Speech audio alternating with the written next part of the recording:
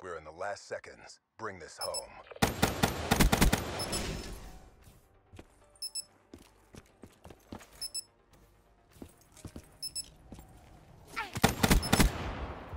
And that's